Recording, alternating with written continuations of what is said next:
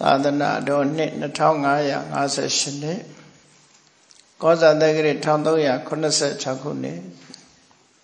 တပေါင်းလဆန်း9ရက်2015ခုနှစ်ဖေဖော်ဝါရီလ26ရက်မန္တလေးတိုင်းဒေသကြီးပြည်ဦးလွင်ခရိုင်ပြည်ဦးလွင်မြို့နယ်အောင်ချမ်းသာရွာဓမ္မသဟာယသာသနာစင်တာ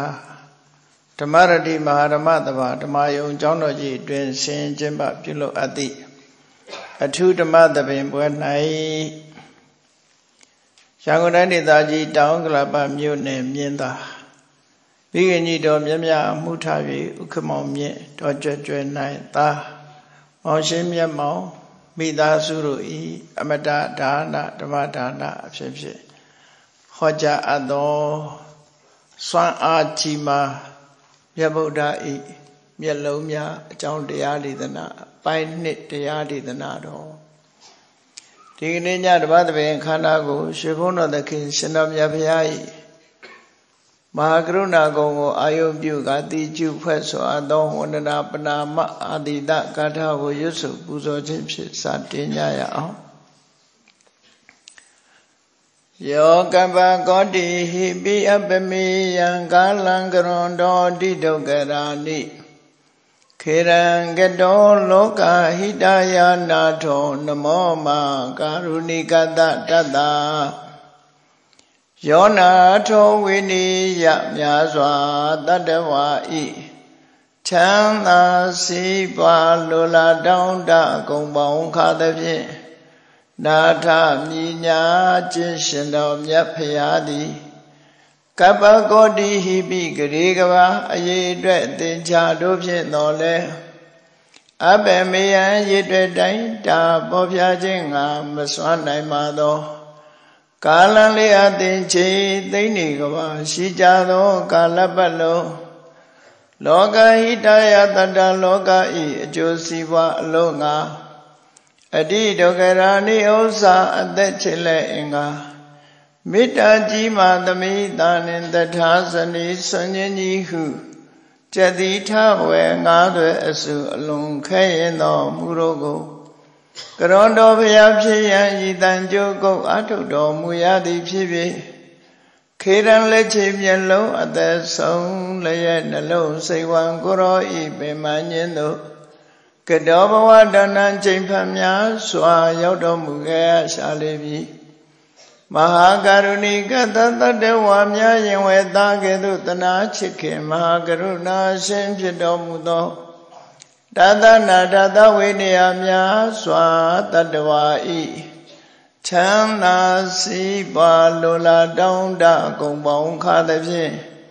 နာထမြညာထိုးရှင်တော်မြတ်ဖရာအားနမောယုတိပြောင်းပြောင်းမှန်ကိုလျော်၍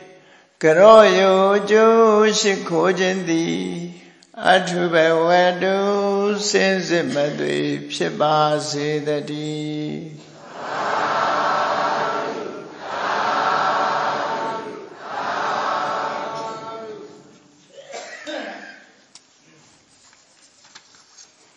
စွမ်းအားကြီးမားမြတ်ဗုဒ္ဓ၏မျက်လုံးများအပိုင်းနှစ် မြတ်စွာဘုရားရဲ့ဂုံပုတ်ကိုချီးကျူးထုတ်ဖော်တဲ့စကလုံးတစ်လုံးကစက္ခုမာမျက်စိအမြင်ရှိတယ်အဲ့တော့တာမန်မျက်စိရှိတဲ့ပုဂ္ဂိုလ်ကိုစက္ခုမာလို့ဒီလိုသုံးနိုင်တော့လည်းပဲဒီနေရာမှာရှိဆိုတာတာမန်အရှိမျိုးလို့အဓိပ္ပာယ်မရအောင်ဒါကြောင့် စွမ်းအားကြီးမားတဲ့မျက်လုံးရှိတယ်လို့ဒီလိုဆိုအောင်ဆိုပါစို့တဏဝါဆိုတဲ့စကားလုံးပါပစ္စည်းဥစ္စာရှိသူလို့ဆိုပစ္စည်းဥစ္စာဆိုတာပြောမယ်ဆိုရင်တရောင်းစားကအစရှိကြတာကြီးပဲလေနိုင်ငံခြားမှာတရောင်းစားတယောက်ဆိုရင်မီလီယံနာတောင်ဖြစ်နေတာရှိတယ်ဒါပေမဲ့လူကတော့တရောင်းစားပဲအဲ့တော့ ဥစ္စာရှိသူလို့ဆိုတဲ့နေရာမှာဝေကျေတနာဥစ္စာရှိသူလို့ပြောလို့ရှင်သူလည်းရှိကိုလည်းရှိရှိကြတာချင်းအ ਨੇ များတာကွာတာကိုအဲ့တော့ဒီမှာလဲစက္ခုမှာမျက်စိရှိတယ်ဆိုတာမျက်စိကလူတိုင်းရှိတာလူတွေတွေမကဘူးတိရစ္ဆာန်တွေလည်းမျက်စိရှိတာအဲ့တော့မျက်စိရှိယုံတင်ကိုစက္ခုမှာဆိုရဲဂုံဘုတ်ကဖော်ပြတာလားလို့ဆိုအဲ့ဒါလို့မဟုတ်ဘူး ဝေတချက်နှစ်ချက်ရှိတဲ့ပုဂ္ဂိုလ်ပစ္စည်းဥစ္စာလေးနည်းနည်းပါးပါးရှိတဲ့ပုဂ္ဂိုလ်ဓနဝါပစ္စည်းဥစ္စာချမ်းသာကြွယ်ဝသူဆိုတဲ့အသုံးမသုံးဘူးတဲ့အလွန်မြောင်များစွာသူများတဲ့ပူပြီးအများကြီးရှိမှရှိတယ်လို့ပြောရတယ်လို့ဆိုလို့ဥပမာဂေါမာဆိုတဲ့စကားလုံးတစ်ခုဟာနွားရှိသူလို့အဓိပ္ပာယ်ရ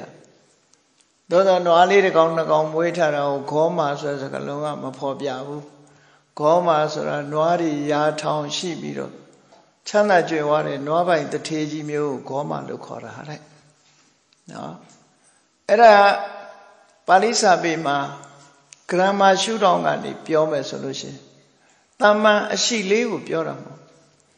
ဥမာမဲ့ဘဂဝါဘုံကံဘုံတော်ကြီးတော်မူသောမြတ်စွာဘုရားဘုံတော်ရှိတော်မူသောလို့မဆိုဘဲနဲ့ဘုံတော်ကြီးတော်မူသောမြတ်စွာဘုရား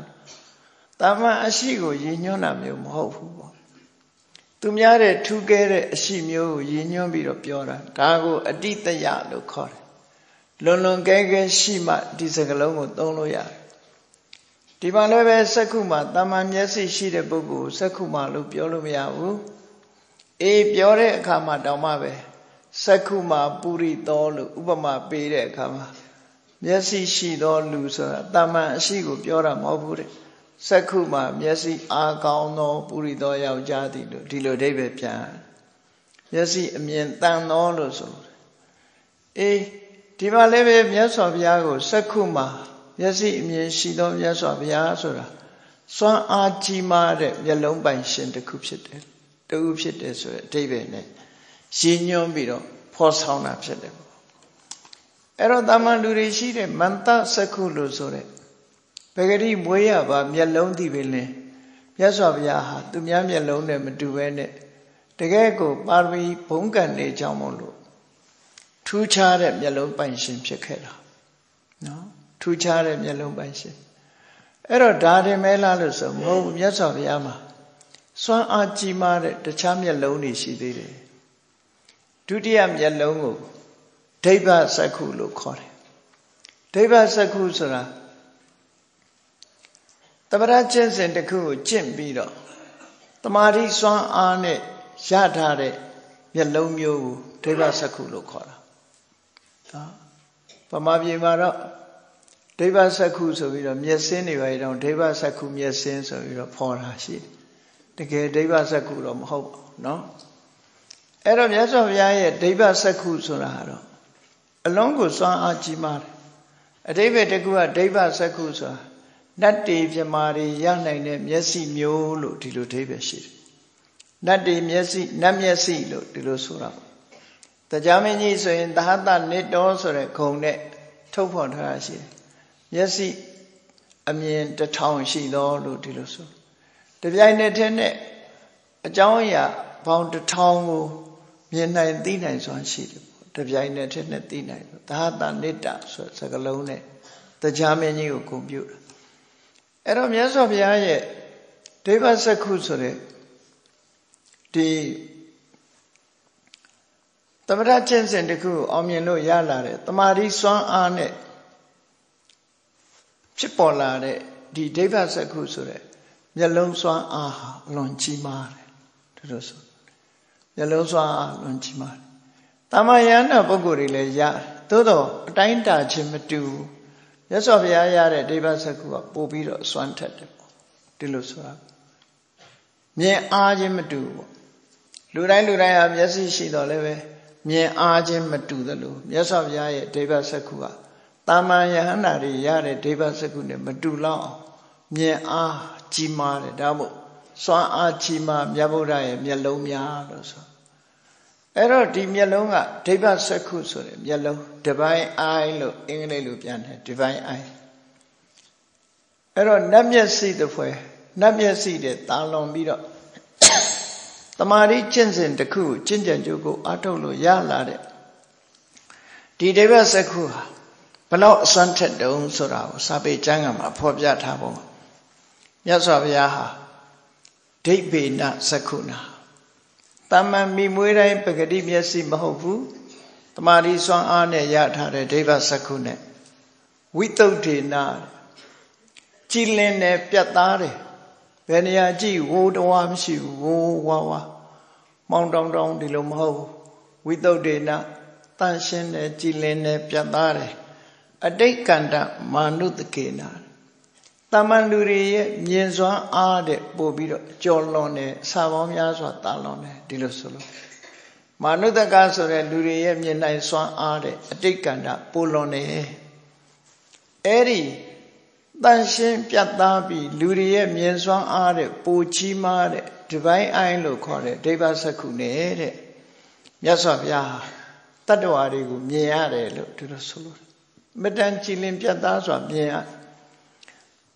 တ္တဝါတွေအမျိုးအစားပေါင်းမြောင်များစွာရှိတယ်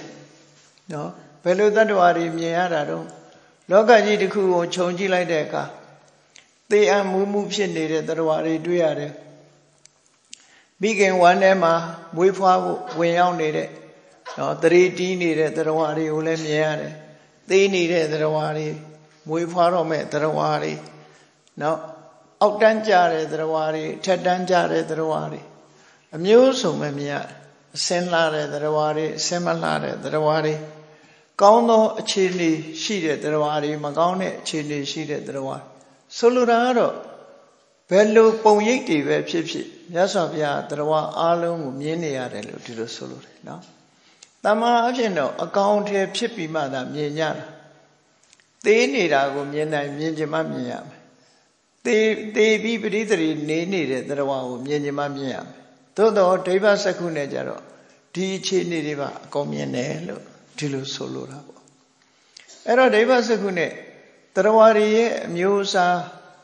ဒီလောကကြီးတစ်ခုလုံးမှာစัจ java လာပေါင်းမြောင်များစွာမှာရှိတဲ့သရဝါတွေအားလုံးလူတွေမကဘူးလူတွေပါတယ်နတ်တွေပါတယ်မြမာတွေပါတယ်တိရစ္ဆာန်တွေပါတယ်ပြိတ္တာတွေပါတယ်ငရဲသားတွေပါတယ်နော်လောကကြီးမှာရှိတဲ့သရဝါတွေမျိုးစုံအောင် မြတ်စွာဘုရားတယ်လီဗီရှင်းထဲမှာမှန်သားပြင်မှာပေါ်ထင်းလာတာတွေကိုမြင်ရတယ်လို့လောကကြီးတစ်ခုလုံးမှာရှိကြတဲ့တတ္တဝါတွေအားလုံးကိုမြင်နိုင်တယ်ဒါရင်လားလို့ဆိုမကဘူးယထာကမ္မှုပကေတတ္တိကံအားလျော်စွာထူထူဘဝသို့ရောက်သွားမဲ့တတ္တဝါတွေရဲ့အခြေအနေကိုလည်းပဲဒိဗ္ဗစကုနဲ့ရှင်းရှင်းကြီးမြင်ရတယ်တဲ့။ ဘာတွေလုပ်တော့ဆိုမသေးခင်တတ္တဝါတွေတချို့ဟာတော့ဒုစရိုက်လုပ်ငန်းတွေလုပ်တယ်စိတ်နေသဘောထားတွေယုံညံ့တယ်ပြောတာဆိုတာတွေကမကောင်းတာတွေပြောတယ်မကောင်းတာတွေလုပ်တယ်အဲ့ဒါလို့လို့ရမကဘူးတကယ်သူတော်စင်တွေကိုပြမှားတယ်နော်သူတော်စင်တွေကိုပြမှားတယ်နောက်မှားရွံ့တဲ့အမြင်တွေအယူဆတွေကိုယူဆတယ်မှားရွံ့တဲ့အမြင်နဲ့လောက်ရက်တွေကို စောက်တည်ပြီးတော့လောက်ကင်နေကြတယ်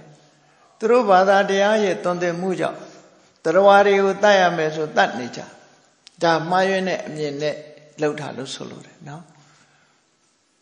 နောက်တစ်ခါဒီပုံနာတွေဆိုလို့ရှိရင်လောကကြီးကိုဘုရားသခင်ဖန်ဆင်းတာတဲ့သူတို့ကဘုရားသခင်ရဲ့သားအဲ့ဒါကြောင့်မို့လောကမှာရှိတဲ့ပစ္စည်းဥစ္စာဘာရှိရှိ သူတို့ပိုင်တယ်လို့ယူဆတယ်ယူဆလို့ဘယ်သူမှပန်ကြားစရာမလိုကိုလူချင်းတဲ့ပစ္စည်းဆွဲယူလို့ရတယ်ပေါ့သူတို့အဒိဏဒါနကိုကျူးလွန်နေတာနော်သူများပစ္စည်းဘယ်သူပစ္စည်းပဲဖြစ်ဖြစ်သူလိုချင်ရတယ်ကြံတဲ့လူတွေကသူတို့ပစ္စည်းကိုမတရားသုံးနေကြတယ်လို့ယူဆသူတို့ကဖရာသားဖရာကလောကကြီးကိုဖန်ဆင်းထားတယ်အဲ့ဒီဖရာကဖန်ဆင်းထားတဲ့သူတို့ရဲ့အဖေပစ္စည်းသူတို့သုံးကျင်တိုင်းသုံးလို့ရတယ် ကြံတဲ့လူတွေကမတရားယူထားတာဆိုတဲ့သူတို့ဘာသာရေးရဲ့သွန်သင်ချက်နဲ့ပုံနာတွေမှာအဲ့လိုအယူဆရှိတယ်အဲ့ဒါမိစ္ဆာဒိဋ္ဌိလို့ခေါ်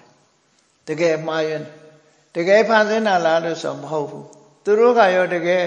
ဘုရားသခင်ရဲ့သားလားဆိုဘယ်ဟောမှာရိုးရိုးပဲသူ့အမေကမွေးတာပဲလေဘုရားသခင်သားကောင်းကင်ကြလာတာမှမဟုတ်တာသို့သောပုံနာမျိုးတွေမှန်သမျှအဲ့လိုယူဆတယ်ပေါ့ အဲ့ဒါကိုပြောတာမိစ္ဆာဒိဋ္ဌိကမ္မသမာဒါနာတဲ့မှားယွင်းတဲ့အမြင်နဲ့လိုက်ပြီးတော့လုံနေကြတဲ့အလုတ်တွေရှိနေကြတယ်ပေါ့လူတွေအဲ့ဒါလို့မကောင်းတဲ့အလုတ်တွေလုံနေကြတဲ့သရဝါတွေဟာဘယ်ရောက်သွားကြတော့ဆိုငရဲတို့ဒရိษံတို့ပြိတ္တာတို့အသူရကယ်တို့ဆိုတဲ့အဲ့ဒီပုံမှာဖြစ်သွားနေတာကိုလည်းမြတ်စွာဘုရားမြင်ရထို့တူပဲသရဝါတွေဟာ အကျင့်ကောင်းအနေထိုင်ကောင်းဇယိုက်ကောင်းနေနဲ့နေထိုင်ကြပြီးတကယ်သူတော်သူတော်စင်မြတ်တွေကိုလေးမြတ်လို့မှန်ကန်တဲ့အယူဆတွေနဲ့ကောင်းတဲ့အလုပ်တွေကိုလုပ်နေကြတဲ့မှန်ကန်တဲ့အမြင်အားလျော်စွာစောင့်တည်ပြီးတော့ဒါနကောင်းမှုလုပ်ရတယ်သီလဆိုတော့စောင့်တည်ရတယ်ကမ္မထံဘာဝနာပွားများအထောက်ရတယ်မှန်ကန်တဲ့အမြင်တစ်ခုပေါ်မှာအခြေခံပြီးတော့အလုပ်လုပ်နေကြတဲ့တတ္တဝါတွေကြတော့ ကောင်းရသူတိဘုံနတ်ပြည်လူပြည်ရောက်နေကြတာကိုလည်းပဲဟောဒီဒိဗ္ဗစက္ခုရဲ့ဒိဗ္ဗစက္ခုနဲ့မြတ်စွာဘုရားကြည့်ပြီးတော့မြင်နေရတယ်လို့ဆိုအဲ့ဒီအမြင်နဲ့ကြည့်ပြီးတော့မြတ်စွာဘုရားကံကံဤအကျိုးဟောကြားတာဖြစ်တယ်ပေါ့သေချာသိပြီးတော့ဟောတာသေချာသိပြီးတော့ဟောတာကိုကိုယ်တိုင်မြင်နေရတဲ့အနေအထားတစ်ခုပေါ့လူတယောက်ဟာလူဘဝရောက်လာတယ် ဒါနာကောင်းမှုတွေလုပ်တယ်သီလတွေစောင့်တည်တယ်ကမ္မထံဘာဝနာတွေပွားများတယ်သူတော်ကောင်းစိတ်တွေမွေးတည်တဲ့အခါအဲ့ဒီလူပဲရောက်သွားတယ်ဆိုတာမြင်နေရတယ်ပေါ့အကုန်လုံးဘယ်သွားတယ်ဆိုတာတိမ့်လို့မလွတ်အောင်ဒေဝစကုအဘိညာဉ်နဲ့ကြိလိုက်အားလုံးကိုမြင်နေရတယ်အဲ့ဒီလိုမြင်တိုင်စွမ်းရှိတဲ့ဒိဗ္ဗစကုဆိုတဲ့ဒီမျက်လုံးကြီးကိုမြတ်စွာဘုရားသခင်ကိုရောမြတ် ဒုတိယမျက်လုံးကြီးကိုရရှိတော်မူတာဖြစ်တယ်။တာမယန္နာပုဂ္ဂိုလ်တွေကစัจ java လာတထောင်တို့ဘာတို့ဒီလောက်ပဲအတိုင်းတာတစ်ခုမြင်နိုင်မယ်။မြတ်စွာဘုရားကြတော့အဲ့ဒါလိုမဟုတ်ဘူးတဲ့။ဧကံပိလောကဓာတုစัจ java လာတစ်ခုကိုလည်းမြင်လို့ရတယ်။ဒွေပိလောကဓာတုရောစัจ java လာနှစ်ခုတို့ကိုလည်းမြင်လို့ရတယ်။အဲ့ဒါလိုစัจ java လာပေါင်းမြောင်များစွာနော်နောက်ဆုံးမှာ လောကကမ္ဘာလောကမှာရှိတဲ့အနန္တစัจ java လာနော်အကန့်အသတ်အပိုင်းခြားမရှိတဲ့အာကာသထဲမှာရှိနေတဲ့စัจ java လာတွေအားလုံးမှာရှိကြတဲ့တရဝါအားလုံးကိုပဲသိကျင်မြင်ကျင်တဲ့စိတ်ရှိလို့ရှိရင်အားလုံးကိုမြင်ရတယ်လို့ဒီလိုဆိုတာပေါ့မြတ်စွာဘုရားအဲ့တော့စัจ java လာဂရေတသိစัจ java လာတသန်းတန်းချီပြီးတော့ များပြားလာတဲ့စัจ java လာဒါတွေမြင်ရလာလို့ဆိုနောက်ဆုံးမှာဒေဝစကုရဲ့စွမ်းအားရသော်ဘုရားရဲ့ဒုတိယမျက်လုံးကြီးရဲ့စွမ်းအားကိုဘယ်လိုရေးတုံးဆိုနော်ယာဝတကံပနာအခင်ခေယတာဝတကံပတေယတဲ့ဆန္ဒရှိသလောက်ကိုမြင်ရတယ်လို့ဆိုလိုတယ်နော်ယာဝတကံအခင်ခေယမြင်ခြင်းသလောက်စัจ java လာတသိန်းဆိုတာဒါ တာမန်ကန့်တတ်တခုပြောတာတသိန်းနဲ့ပို့ပြီးတော့မမြင်ရဘူးလို့ဒီလိုပြောတာမဟုတ်ဘူးယာဝတကံအကင်ခေယမြင်ခြင်းတဲ့ဆန္ဒရှိသလောက်တာဝတကံပတ်သေးရအဲ့လောက်ထိအောင်ကိုမြင်နိုင်တယ်လို့ဟောလို့အလွန်တန်ရှင်းစင်ကြယ်လာတဲ့ဒီပိုင်းအိုင်းလို့ခေါ်တဲ့ဒိဗ္ဗစကုအဘိညာဉ်မျက်လုံးနဲ့မြတ်စွာဘုရားသရဝါတွေကို ရှင်းရှင်းကြီးလောကကြီးတစ်ခုလုံးကိုကြည့်လို့မြင်ရတယ်လို့ဒီလိုဆိုတာเนาะဒါကြောင့်မို့လို့စက္ခုမှာတကယ့်ကိုအစမ်းထွက်တဲ့ဒိဗ္ဗစက္ခုဆိုတဲ့ဒုတိယမျက်လုံးကြီးကိုလည်းမြတ်စွာဘုရားဟာပိုင်ဆိုင်တော်မူတာဖြစ်တယ်ပေါ့ဒါကြောင့်စက္ခုမှာဆိုတဲ့ဂုံနဲ့ဒီမြတ်စွာဘုရားကိုဂုံပြုပြီးတော့ချီးမွမ်းကြရတာဖြစ်တယ်ပေါ့နောက်ဒီမျက်လုံးနဲ့လားလို့ဆို မြတ်စွာဘုရားမှာမျက်လုံးက၅မျိုးတောင်ရှိတာဟုတ်ဘယ်ကလေးမျက်လုံးနဲ့မကဘူးခုဇန်နဲ့ဇန်စွမ်းအားနဲ့တမာရီစွမ်းအားနဲ့ရတဲ့မျက်လုံးအပြင်နောက်ထပ်တတိယမျက်လုံးဆိုတာဘာလဲလို့ဆိုရင်ပညာစက္ခုတဲ့ခွဲခွဲပြားပြားပိုင်းပိုင်းခြားခြားသိနိုင်တဲ့အသိပညာပညာမျက်လုံးဟာလည်းကြီးမားတယ်ဘယ်လောက်ထိကြီးမားတော့ဆိုမြတ်စွာဘုရားဟာမဟာပညာ ကျေပြတ်တဲ့ပညာရှိတယ်ကြီးမားတဲ့ပညာရှိတယ်ပုထုပညာကျေပြတ်တဲ့ပညာရှိတယ်ဟာတပညာရှင်လန်းတဲ့ပညာရှိလန်းတယ်ပေါ့နော်ရသော်ဘုရားရဲ့ပညာကထုံထုံထိုင်းတဲ့မဟုတ်ဘူးလန်းနေတယ်ပေါ့ခုခေတ်လူတွေပြောတယ်လန်းတယ်ဆို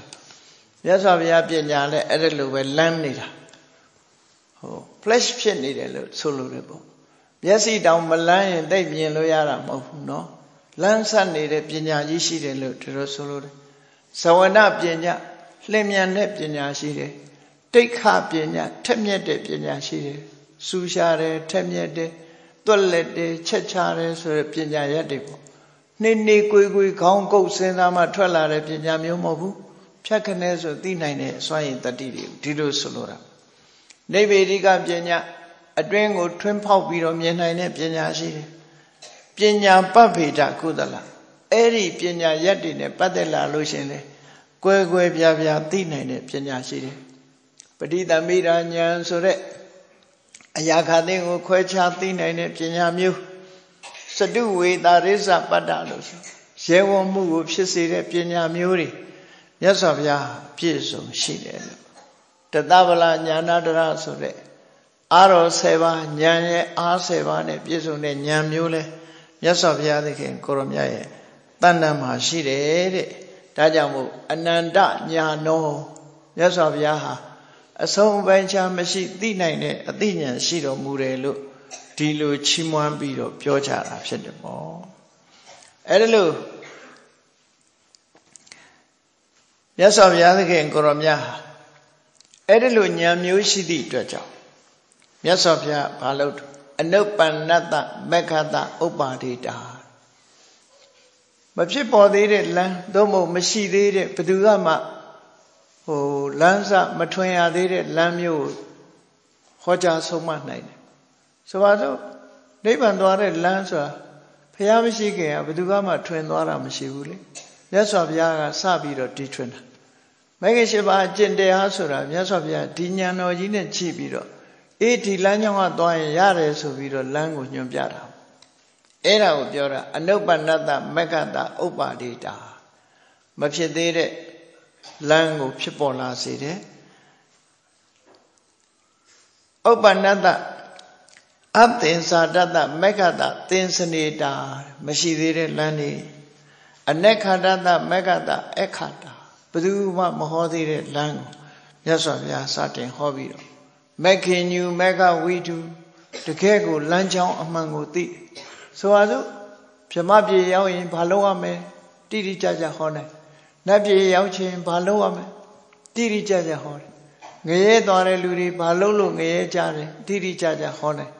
တရိษံဖြစ်တာဘာကြောင့်ဖြစ်တယ်တိတိကျကျဟောတယ်လမ်းကြောင်းနေမှန်သမျှကိုမြတ်စွာဘုရားသခင်ကိုရောမြတ်တိတိကျကျကောင်းစွာဟောပြောတာ ဒါပညာစက္ခုနဲ့ကြည့်ပြီးတော့ဟောပြောတာလို့ဒီလိုဆိုလို့ပေါ့နော်အဲဒါကြောင့်မလို့မြတ်စွာဘုရားသခင်ကိုရောမြတ်ဟာပညာစက္ခုလို့ဆိုတဲ့စွမ်းအားထက်တဲ့တတ္တိယမျက်လုံးရှိလို့သိเสียမှန်သမျှကိုလည်းအကုန်သိတယ်ဇာနံဇာနာတိသိเสียရှိတာအကုန်သိတယ်ပတ္တံပတ္တတိမြင်เสียရှိတာဒီအကုန်မြင်တယ်ဉာဏ်နဲ့မြင်တဲ့အမြင်မျိုးကိုပြောတာ စက္ခုဘူတော်ညာနာဘူတော်လောကကြီးတစ်ခုလုံးရဲ့မျက်လုံးပဲတဲ့ရသော်ဗျာနော်မြင်ရတယ်ဆိုတာမျက်လုံးထဲမှာမြင်ရလို့အရာခသိန်းကိုမြင်စွမ်းနိုင်တဲ့ပညာမျက်လုံးဟာမြတ်စွာဘုရားမှာအင်မတန်မှကြီးမားတယ်တဲ့အေးအဲ့ဒါတော့စွမ်းအားကြီးမားတဲ့မျက်လုံးရှိသည့်အတွက်ကြောင့်နတ္ထိတတ္တဘဂဝတောအညာတံအဋိဋ္ဌံအဝိဒိတံအသိစိကတံ အဖတိတံပညာယမြတ်စွာဘုရားဉာဏ်နဲ့နော်မသိတဲ့အရာမမြင်တဲ့အရာလက်တွေ့ဟိုရှင်းရှင်းလင်းလင်းသိထားမှုမရှိတဲ့အရာမျက်မှောက်မပြုတ်နိုင်တဲ့အရာ မထီရောက်တဲ့အရာဆိုတာလုံးဝမရှိဘူးမြတ်စွာဘုရားဉာဏ်တော်ကြီးနဲ့မသိဘူးဆိုတဲ့အရာတစ်ခုမှမရှိဘူးလို့ဆိုလို့အလုံးကိုမြင်တယ်အလုံးကိုသိတယ် အတိတ်ဆိုတာကိုလည်းသိတယ်အနာဂတ်ဆိုတာကိုလည်းသိတယ်ပစ္စုပန်ဆိုတာကိုလည်းပဲသိတယ်တဘာဝတရားမှန်သမျှမြတ်စွာဘုရားမှာတဘာဝတရားမှန်သမျှတပ်ဖိဓမ္မာတပ်ဖာကာရိနဗုဒ္ဓတဘဂဝတောညာနာမုခေအာဖာထံအာဂိသန္တိတဲ့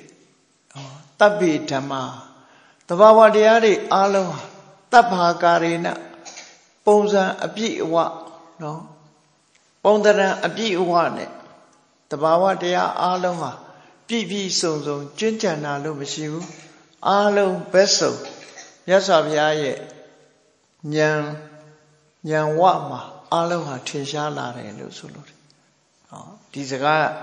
မြတ်စွာဘုရားမသိတာမရှိဘူးလို့ဒီလိုဆိုလို့တယ်မြတ်စွာဘုရားရဲ့ဉာဏ်မျက်နှာပြင်မှာအကုန်လုံးလာပြီးတော့ထင်းလာတယ်တဲ့ ယံကိစီနေယနာမအဋ္ဌိဇာနိတပံတည်တင်တည်လိုက်တာမှန်သမျှကိုယ်အကျိုးပဲဖြစ်ဖြစ် သူတော်ဘာအကျိုးပဲဖြစ်ဖြစ်နှစ်ဦးလုံးရဲ့အကျိုးပဲဖြစ်ဖြစ်မျက်မှောက်ဘဝအကျိုးပဲဖြစ်ဖြစ်တမလွန်ဘဝအကျိုးပဲဖြစ်ဖြစ်ဒီတဲ့တာလွန်နဲ့မြင့်မြတ်တဲ့အကျိုးပဲဖြစ်ဖြစ်ဘလောက်မြင့်မြတ်တဲ့အကျိုးမျိုးပဲဖြစ်ဖြစ်မြတ်စွာဘုရားသခင်ကိုရောမြတ်မသိဘူးဆိုတာမရှိဘူး တပ္ပန္တံအန္တောဗုဒ္ဓညာနေပရိဝတ္တိ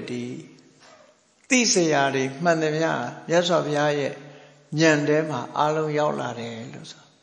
မကြံဘူးလို့ဆိုလို့တယ်အကုန်သိနော်သိချင်ပြီဆိုရင်အကုန်သိတယ်လို့ဒီလိုပြောတာအေးအတိတ်နဲ့ပတ်သက်လာလို့ရှင်လေအတိတံသေးဗုဒ္ဓသဘဂဝတောအပတိဟတံညာဏံအတိတ်ကိုပြန်စဉ်းစားလိုက်မယ်ဆိုရင်လေဘယ်ဟာလေးအဖြစ် ဘာကြောင့်ဖြစ်တတ်ပါလဲလို့ခေါင်းကုပ်စဉ်းစားနေကြမလို့အတိတ်ကိုကြည့်လိုက်ရင်လည်းရှင်းကနေအကောင်လုံးမြင်ရတယ်ဘယ်လောက်ထီအောင်ဝေးဝေးထီအောင်မြင်ရတော့အဆုံးအပိုင်းခြားမရှိအောင်မြင်ရဆိုလိုတာကရသော်ဘုရားသူ့ဘဝကိုပြန်ကြည့်မယ်နော်ရသော်ဘုရားဘဝကနေပြီးတော့အတိတ်ဘဝကိုပြန်ကြည့်လိုက်တာသူမိတာဘဝထီအောင်ရှင်းရှင်းလင်းကြီးဒါပြင်သူမိတာဘဝမတိုင်ခင်ကဘာဖြစ်တုံမြင်ရတယ် အဲ့ဒီဘဝတွေမတိုင်ခင်ကဘာတွေတော့ဆိုအကုန်မြင်ရတယ်လို့ဆိုလို့တယ်နော်အားလုံးဟာရှင်းရှင်းလင်းလင်းရှေ့ကိုမမြင်ရတော့ဘူးလမ်းပိတ်သွားပြီဆိုတာမျိုးလုံးဝမရှိဘူးတဲ့အပတိဟတညာနာအနှောင့်အယှက်ပိတ်ပင်စီတာမရှိဘူးမြတ်စွာဘုရားအသိညာထို့တူပဲအနာဂတ်ကိုလှမ်းကြည့်လိုက်အောင်မလားရှင်းရှင်းကြီးမြင်တယ်ဒီလိုဘုရားရဲ့မျက်လုံးနဲ့ပဲသူမိတာဘွားက ဒီသူမိတာယသိလေးရကိုကိုဝဆင်းတရာခင်းပြီးတော့ဒီပင်ကရာမြတ်စွာဘုရားနဲ့တန်ဃာတွေကြွဖို့အသက်ဆုံးပြီးတော့စွန့်စားပြီးလှူဒန်းတဲ့အချိန်လေးမှာသူ့ရဲ့စိတ်စေနာတွေစွမ်းအားတွေကိုကြည့်ပြီးဒီပင်ကရာမြတ်စွာဘုရားကဒီယသိဘာဖြစ်မှာတုံးဆိုတော့ကြည့်လိုက်တာအဝေးကြီးလေအခုဂေါရမဗုဒ္ဓဖြစ်မဲ့ဟာဆိုရင်ကဘာပေါင်းလောက်ချတော့ဆို လေးအသင်ချေနဲ့တသိန်းချနေသေးတယ်လေးအသင်ချေဆိုတာမရေမတွက်နိုင်တာလေးခါချီသေးတယ်နော်ကြားတယ်ပါရေတွက်လို့ရတာတသိန်းလို့ပြောတာရေတွက်လို့မရတဲ့ကဘာပေါင်းကလေးခါရှိတယ်လေးခါကြုံတယ်လို့ပြောတာနော်အဲ့ဒါလောက်ရှိဝေးတဲ့အနာဂတ်ကိုတောင်မှပဲဒီပင်ကရာမြတ်စွာဘုရားကြီးကဟောဒီပညာစက္ခုနဲ့လှမ်းကြည့်လိုက်တာခါကြရှင်းကနေမြင်ပြီးတော့အာသူဝိဒါကဂေါရမဗုဒ္ဓဖြစ်မှာပဲ ဟောအမေနာမယ်အဖေနာမယ်မြို့ရဲ့နာမယ်ကြွတင်ပြီးပြောတာနော်ကြွတင်ပြီးတော့ပြောတာအဲ့လိုပြောလို့ရလားလို့ဆိုရတာပေါ့ခဏိခေတ်မှာဘာမှညံစွမ်းအားတလောက်မရှိတာတောင်မှပဲနော်ဘယ်တော့ငရင်လှုပ်မယ်ဘယ်တော့မုံတိုင်းတိုက်မယ်ဆိုတာဖြစ်ပေါ်နေတဲ့အခြေအနေတခုကိုကြည့်ပြီးတော့ focus တွေလုပ်နေကြတာပဲခဏိခေတ်မှာတောင်မှပဲ စွမ်းအားရှိသမျှပြောလို့ရသေးတယ်ဟောကိန်းထုတ်တယ်ခေါ်တာပေါ့နော်အဲ့ဒီဟောကိန်းတွေကလွဲကျင်လွဲသွားအောင်မယ်မြတ်စွာဘုရားရဲ့ဗျာဒိတ်ဆိုတဲ့ဟောကိန်းကြတော့လုံးဝလွဲချော်မရှိတိကျသေးကြတဲ့ဟောပြောချက်တွေဖြစ်တယ်ဗျာဒိတဆိုတာတိကျသေးကြတဲ့ဟောပြောချက်ဟော prophecy လို့ခေါ်တယ်အဲ့ဒီလိုဟောကိန်းထုတ်နိုင်တာတွေဟာဉာဏ်ထဲမှာရှင်းရှင်းလင်းလင်းပေါ်ပြီးတော့ ဟောကိန်းထုတ်ထားတာဖြစ်တယ်မသိပဲနဲ့ရမ်းပြောတာတခုမှမရှိဘူးတဲ့ပစ္စုပန်ဘဝမှာလည်းထို့တူပဲပစ္စုပန်လက်ရှိအခြေအနေတခုကိုလည်းဟောကိန်းထုတ်နိုင်တယ်တပ္ပံကာယကမ္မညာနာပုပ္ပေကမ္မညာနာနုပရိဝတ္တမြတ်စွာဘုရားရဲ့လှုပ်ရှားသမျှကိုရီလျောက်လှုပ်တာတွေမှန်သမျှအကုန်လုံးအတိညာရှေ့ရှုတယ်လို့ဒီလိုဆိုလို့တပ္ပံဝစီကမ္မပြောတဲ့စကားတွေမှန်သမျှလည်းအတိညာနဲ့ တပ္ပံမနောကံစိတ်แท้ကြံတွေးသမျှဟာလည်းပဲအတိညာနဲ့ပဲဉာဏ်ရဲ့နောက်ကိုလိုက်တယ်လို့ဒီလိုဆိုတာပေါ့အဲ့တော့ဉာဏ်ရဲ့နောက်ကိုလိုက်တယ်ဆိုတဲ့အခါမှာအဘိဓမ္မာသဘာဝတွေကဘာစဉ်းစားကြတုံးလို့ဆိုတဲ့အခါနော်ရသော်ဘုရားဟာဉာဏ်ရဲ့နောက်ကိုလိုက်တယ်လို့ဆိုတော့သူတို့ကအဘိဓမ္မာသဘောအရပြောမယ်ဆိုရင် စိတ်86ထဲမှာမြတ်စွာဘုရားတဏ္ဍာမှာဖြစ်တဲ့ပြုံးရမှုကို ဖြစ်စေတတ်တဲ့အညံဆုံးစိတ်ကလေးပေါ့လေအညံဆုံးဆိုတာအစွမ်းထက်တဲ့စိတ်မဟုတ်ဘူးအဲ့ဒီမှာဟတိတုပ္ပါဒဆိုတဲ့ဟတိတုပ္ပစိတ်ကလေးရှိအဲ့ဒီဟတိတုပ္ပစိတ်ဟာကရိယာစိတ်မျိုးပဲကရိယာစိတ်မျိုးဆိုတော့အစွမ်းထက်တဲ့ပညာမပါဘူးအာဟိစိတ်လို့ခေါ်တယ်အဘိဓမ္မာမှာဆိုရင်အာဟိစိတ်လို့ခေါ်တယ် အဲ့ဒီစိတ်ကမြတ်စွာဘုရားတဏ္ဍမှာဖြစ်တယ်ဆိုရင်ဉာဏ်မရှိဘဲနဲ့ဖြစ်တယ်ပေါ့ဉာဏ်မပါဘူးဉာဏ်မပါသည့်အတွက်ကြောင့်တချို့ပြီးတော့မှဆရာတွေကဒီစိတ်ဟာဘုရားတဏ္ဍမှာမဖြစ်ဘူးလို့ဒီလိုယူဆတာတခုရှိတယ်အဲတချို့ကြတော့လည်းဘယ်လိုယူဆတော့ဆိုမြတ်စွာဘုရားဟာမြင်ပြီးတယ်မြင်ပြီးတဲ့အချိန်မှာမှဒီစိတ်ကဖြစ်တယ်အဲ့တော့မြင်တဲ့အချိန်ဟာဒီစိတ်က ဉာဏ်မပါတဲ့စိတ်ဟာနောက်မှဖြစ်တဲ့ဖြစ်တာမို့မြတ်စွာဘုရားရဲ့ဉာဏ်ကတော့အားလုံးဟာသိပြီးမှသာဖြစ်တယ်လို့ဒီလိုယူဆပြီးဟာတိတုပ္ပစိတ်ဖြစ်တာကိုလက်ခံတဲ့အပြီးဓမ္မဆရာလည်းရှိတယ်သို့တော်မြတ်စွာဘုရားရဲ့တဏ္ဍာမှာဖြစ်တဲ့စိတ်တိုင်းဟာဉာဏ်နဲ့ရှင်နာလားလို့ဆိုဘယ်အောင်မှာတော့ဟောဥပမာမြတ်စွာဘုရားတဏ္ဍာမှာရှိတဲ့မြင်သိစိတ်ဆိုစက္ခုဝိညာဉ်စိတ်ကဘယ်လိုလုပ်ပြီးဉာဏ်နဲ့ရှင်မှာတော့ သောတာဝိညာဉ်စိတ်ကြာတိစိတ်ဆိုတာလဲဉာဏ်နဲ့ရှင်တာမဟုတ်ဘူးကာဏဝိညာဉ်စိတ်ဇီဝဝိညာဉ်စိတ်ကာဝိညာဉ်စိတ်ဆိုတာတွေကလည်းပညာနဲ့ပဲရှင်မလဲအာဟိစိတ်တွေပဲထို့တူပဲဇောစိတ်ဖြစ်တဲ့ဟာတိတုပ္ပါဒစိတ်ဟာမြတ်စွာဘုရားတဏ္ဍမှာဖြစ်လို့ဖြစ်ပေမဲ့လို့ဉာဏ်နဲ့မရှင်ဘူးဒါပေမဲ့ဒီစိတ်လေးတွေဟာခဏလေးဖြစ်တဲ့စိတ်တွေပဲခဏလေးဖြစ်တဲ့စိတ်မှု လှုပ်ရှားမှုကိုဖြစ်စေတဲ့စိတ်တွေမှန်သမျှတော့ဉာဏ်နဲ့ပဲအကုန်ရှင်တယ်လို့ဒီလိုဆိုလိုတာပေါ့နော်ဒါကြောင့်မို့မြတ်စွာဘုရားတဏ္ဍမှာဖြစ်ပေါ်လာတဲ့ဒီပြောတဲ့စကားမှန်သမျှဟာလဲဉာဏ်က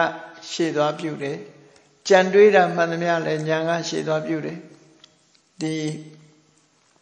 လောက်ကင်ဆောင်ရွက်သမျှမှန်သမျှဟာလည်းပဲဉာဏ်ကရှေ့သွားပြုတယ်ဉာဏ်မပါဘဲနဲ့လောက်တာတခုမှမရှိဘူးလို့ဒီလိုဆိုလို့တယ် အေးဒါကြောင့်မို့ရသော်ဘုရားကိုယာဝတကံညာနာတာဝတကံယာဝတကံညေယန္တနေယံတာဝတကံညာနာသိစရာနဲ့အတိညာဟာတထပ်သေးပဲနေတယ်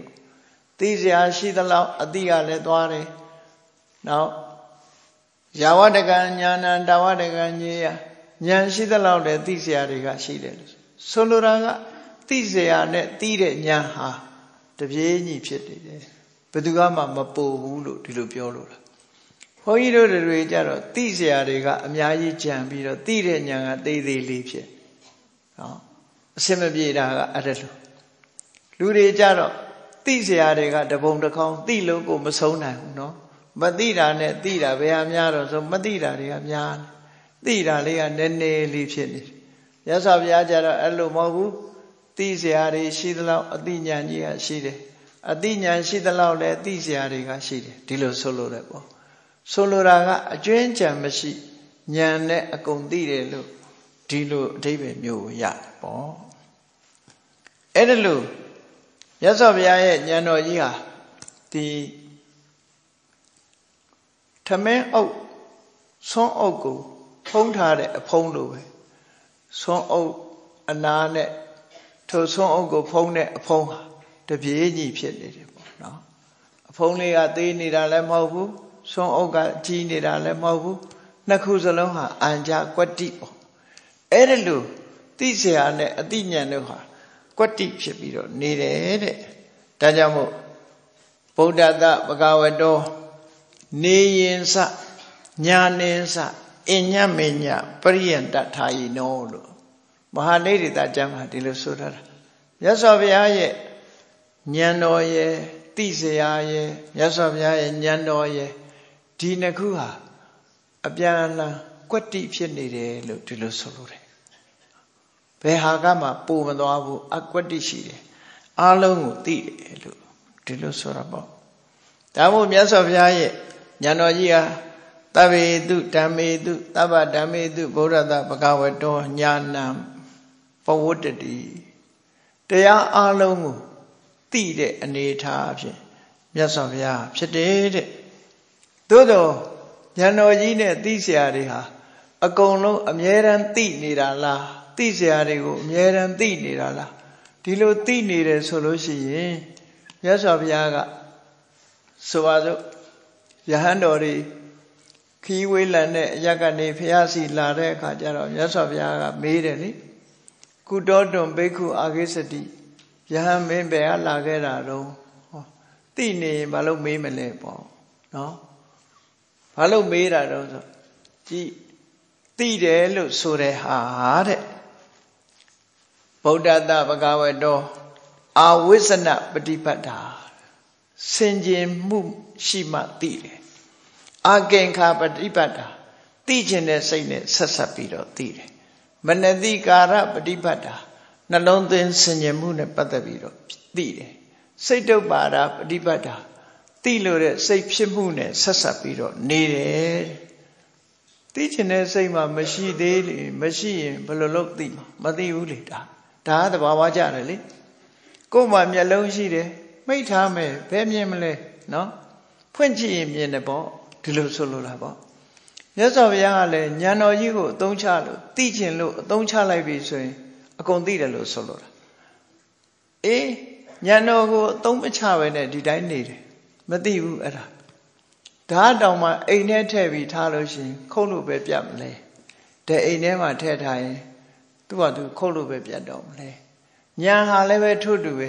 မြတ်စွာဘုရားဉာဏ်တော်ကြီးကလည်းအတုံးချပြီဆိုရင်သိတယ်အတုံးမချပဲနဲ့ထားလို့ရှိရင်တော့လည်းမသိဘူးပေါ့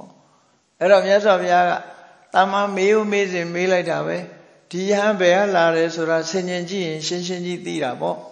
ဒါပေမဲ့လို့ဆင်ញင်မနေဘူးကိုရှိရောက်လာတဲ့ကိုတော့ကောက်ပြီးမေးလိုက်တယ်မင်းဘယ်ကလာခဲ့တာတုံးဟောဒီလိုဆိုလိုတာနော်အဲ့တော့သိကျင်တဲ့စိတ်လို့ရှိလို့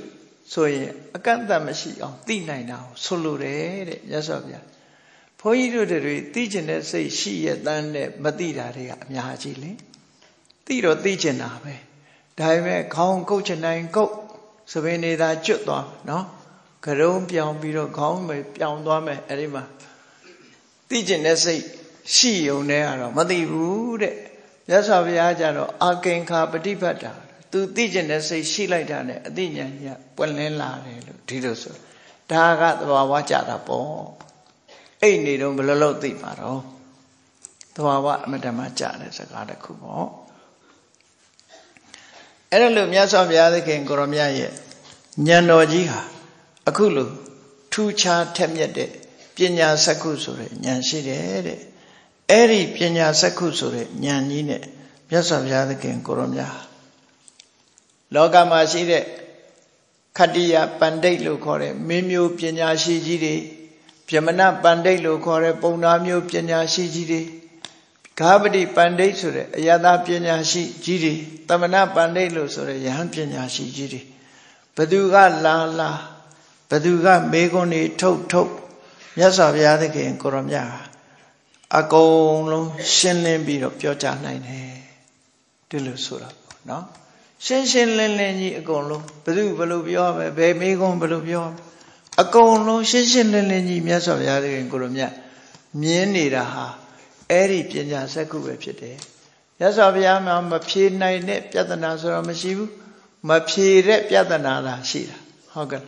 ဖယားမဖြေတဲ့ပြဿနာဆိုတာရှိသေးတယ်10ခုရှိတယ် unanswered question ဆိုတာဖယားမဖြေတဲ့ပြဿနာမဖြေဘူးဆိုတာမဖြေပဲထားခြင်းသိပင်လည်းအဖြေပဲလေဒါကကဲပရိသတ်ပဲစဉ်းစားပြီးတော့ဖြေကြည့်ပေါ့နော် မင်းမကားရှိလားလို့တရားကမေးမယ်ဆိုမရှိဘူးအေးအဲ့ဒီမရှိတဲ့ကားဟာဂျပန်ဖြစ်လားကိုရီးယားဖြစ်လားလို့မေးဘယ်လိုဖြစ်ကားမှမရှိတာမရှိတဲ့ကားကိုကိုရီးယားဖြစ်လားဂျပန်ဖြစ်လားဆိုဘယ်လိုလုပ်ပြောဖြေလို့မရဘူးလေဖြေလို့မရတဲ့မေကွန်မျိုးဟာမဖြေပဲပဲထားကိုရီးယားဖြစ်လို့ပြောလိုက်ရင်ကိုကားမှမရှိတာကြီးကိုနော်အဲ့ဒီဥပမာမျိုးလိုပဲ သားသမီးမထွန်းကားတဲ့အမျိုးသမီးတယောက်ရဲ့သားဟာအသားဖြူသလားအသားမဲသလားလို့မေးရင်ဘယ်လိုလုပ်ဖြစ်သူကသားသမီးမှမရှိတာမရှိတဲ့သားသမီးကိုအသားဖြူလားမဲလားသွားမေးတော့ဘယ်လိုလုပ်ဖြေထုတ်မှာအဲ့ဒါလို့ဖြေလို့မရတဲ့မေကွန်မျိုးကြတော့မြတ်စွာဘုရားထပနိယဗျာကရဗျာကရဏလို့ခေါ်တယ်မဖြေပဲထားလိုက်တာအဲ့ဒါလို့မဖြေပဲထားတဲ့အတ္တနဲ့ပတ်သက်တဲ့ဝါဒ10ခုတော့ရှိတယ် အဲ့ဒါပဲမဖြေနိုင်တဲ့ပြဿနာဆိုတာမရှိဘူးဒါကြောင့်မို့မြတ်စွာဘုရားကိုမေကွန်မေးခြင်းတို့လာကြတဲ့ပုဂ္ဂိုလ်တွေကိုမြတ်စွာဘုရားဗာပြောတော့မြတ်စွာဘုရားဗာပြောလိုက်တော့ပု္ပ္ပာယထာကင်ခတိမင်းကြိုက်တာမေးဟာပု္ပ္ပာယထာကင်ခတိကြိုက်တာမေးဖြေမယ်ဒီလိုဆိုတာရှင်သာရိပုတ္တရာတောင်အဲ့လိုမလုပ်ရဲဘူးမပြောရဲဘူးဗာပြောတော့ပု္ပ္ပာသုတ်တော်ဝါဇာနိတ္တမ မေးပါတဲ့အမေးကြားပြီးတော့မှဖြေနိုင်မဖြေနိုင် ပြောပါမယ်ဆိုဟောတကွက်ချန်တာမြတ်စွာဘုရားကကြတော့အဲ့ဒါလို့တကွက်ချန်မရှိဘူးပု္ပ္ပယထာကင်ခတိကြိုက်တဲ့အချိန်မေးကြိုက်တာမေးဟောကြိုက်တာအခုကိလူတွေကတော့ပြောကောင်းပြောလိမ့်မယ်ပေါ့ကြိုက်တာမေးမေးရင်တော့မဖြေနိုင်တော့ဘူးပြီးရောကြိုက်တာမေးကြိုက်တဲ့အချိန်မေးလို့ပြောကောင်းပြောလိမ့်မယ် တကယ်တော့စာပေကျမ်းကမှာဆိုထားတာကကြိုက်တာမေးကြိုက်တဲ့အခါမေးလို့ဆိုတာဘုရားတစ်ပါးလည်းပဲပြောနိုင်တယ်တဲ့ကျန်တဲ့ပုဂ္ဂိုလ်တွေပြောလို့မရှိဘူးတကယ်ပညာရှိသူတော်ကောင်းတွေရှင်သာရိပုတ္တရာတို့တောင်မှပဲမေးကြည့်ပါလေကြားရတဲ့အခါတော့ဖြေနိုင်မဖြေနိုင်ပြောပါမယ်ဟောဒီလိုပဲပြောရမယ်တဲ့နော်အဲ့ဒါလို့ဆိုတယ်အဲ့တော့မြတ်စွာဘုရားသခင်ကိုရမြတ်က လောကမှာရှိတဲ့တရားတွေအားလုံးရဲ့အခြေအနေအရရက်ကိုမှန်မှန်ကန်ကန်အကုန်လုံးသိတယ်အဲ့ဒါလို့မှန်ကန်မှန်ကန်ကန်သိလို့ပညာနဲ့ရှင်းလာလို့ရှိရင်တဲ့မြတ်စွာဘုရားကိုတာတဲ့ပုဂ္ဂိုလ်တော့မရှိဘူးတူတဲ့ပုဂ္ဂိုလ်တူတဲ့ပုဂ္ဂိုလ်မရှိဘူးတာတဲ့ပုဂ္ဂိုလ်ဆိုတာတာတာမြမာကြီးတွေငေးနေရမြတ်စွာဘုရားနဲ့ရှင်လိုက်အောင်လေးကဘာမှာကဘာကြီးကိုသူတို့ဖန်ဆင်းတယ်လို့ ပြောနေတဲ့မြမာကြီးတွေမြတ်စွာဘုရားနဲ့တွေ့တဲ့အခါကျဖြေနိုင်တော့ဘူးသူတို့မသိတော့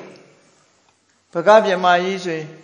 အဲသူ့ကိုယ်သူထင်ကြီးပြီးတော့ဒီဒီဗြမပြေဟာဘယ်တော့မှမသေးတဲ့နေဆထာဝရဘုံကြီးကောင်းကင်ဘုံကြီးဒီဘုံလာခဲ့တာကောင်းတယ်လို့ဆိုရသော်ဘုရားထောက်ပြတယ်မင်းဘယ်ကနေမွေးလာတာမင်းဘယ်တော့သေမှာဆိုတာဒီအောင်ပြောလိုက်တယ်နော်အဲ့ဒါလို့အတိအကျမြတ်စွာဘုရားပြောလိုက်မှ तू လန့်သွား သူကသူမသေးဘူးလို့ထင်နေတာဘာလို့လို့မင်းဒီပြမပြေရောက်လာတာမင်းဘလောက်ကြာအောင်နေရမယ်ပြီးရင်မင်းပဲဘယ်ရောက်သွားလိမ့်မယ်ဆိုတာတွေကိုပြောလိုက်မှ तू ဟာအရှုံးပေးသွားတယ်လေအမတန်ရှီကြားနေတဲ့ဟာကြတော့လူတွေကမေ့တဲ့သဘောရှိတာပေါ့အဲ့ဒါလို့အသက်တန်းရှီကြားတဲ့ဗြမာတွေတောင်မှပဲမြတ်စွာဘုရားကစကားလေးတစ်ခွန်ပြင်းလို့တဲ့အခါတုံလုံးခြောက်ချသွားတယ်တဲ့ မြတ်စွာဘုရားသဗ္ဗေသင်္ခါရအနိစ္စလောကမှာရှိကြတဲ့အကြောင်းတရားတွေကပေါင်းဆက်ဖန်တီးထားတဲ့သင်္ခါရတရားဆိုရင်လုံးဝမမြဲဘူးဆိုတဲ့စကားလည်းကြားလိုက်ရောထိတ်လန့်တုန်လှုံသွားကြတယ်သူတို့ကိုသူတို့မြဲတယ်လို့ထင်တာလေဘယ်တော့မှမသေးဘူးလို့ထင်တော့အဲ့ဒါလောက်ဒီတက်တန်းရှိတဲ့မြမကြီးတွေတောင်မြတ်စွာဘုရားရဲ့စကားလေးတစ်ခေါက်တုံလှုပ်ခြောက်ခြားသွားစိတ်နိုင်တယ်ပေါ့ ဟောတို့လည်းသိရအောင်မှဆိုပါလားတို့လည်းဒီနယ်တဲကပဲဆိုပါလားဆိုတာတွေအကုန်လုံးဖြစ်သွားတယ်အဲ့ဒါလောက်ထိအောင်မြတ်စွာဘုရားရဲ့ဉာဏ်တော်ဟာတာမန်အစွမ်းတကူကြီးမားလာတဲ့ပုဂ္ဂိုလ်ကြီးတွေတောင်မမြင်နိုင်တဲ့အရာကိုမြတ်စွာဘုရားမြင်နိုင်တာတဲ့ဒါမြတ်စွာဘုရားရဲ့တတ္တိယမျက်လုံးလို့ခေါ်တဲ့ပညာမျက်လုံးရဲ့စွမ်းအားပဲဖြစ်တယ်ပေါ့ဒီလိုဆိုလိုတာပေါ့နော် နောက်တစ်ခါမြတ်စွာဘုရားရဲ့စတုထမျက်လုံးလို့ခေါ်ရမယ်ဗုဒ္ဓမျက်လုံးဗုဒ္ဓစက္ခုလို့ခေါ်တယ်ဗုဒ္ဓစက္ခုကျမ်းစာတွေကိုဗုဒ္ဓစက္ခုလို့မသုံးဒီမျက်လုံးကိုဗုဒ္ဓစက္ခုလို့သုံးဘာကြောင့်လို့ဆိုရင်တမ္မာပိစိကဗုဒ္ဓတွေတောင်ဒီမျက်စိမျိုးမရဘူး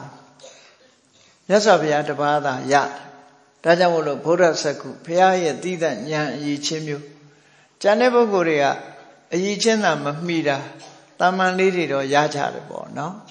ဟောမြတ်စွာဘုရားရဲ့ဒီဗုဒ္ဓစက္ခုဆိုတာဘသူကိုခေါ်ရတော့လို့ဆိုလို့ချင်းအာတယာနုတယဉာဏ်နဲ့အိန္ဒရိယပရောပရိယတိဉာဏ်ကိုခေါ်တယ်အာတယာနုတယဉာဏ်ဆိုတာဘာလို့ဆိုရင်တရားရရဲ့အတွေးစိတ်နေသဘောထားတရားရရဲ့စိတ်နေသဘောထားအလေးအလာဝါဒနာ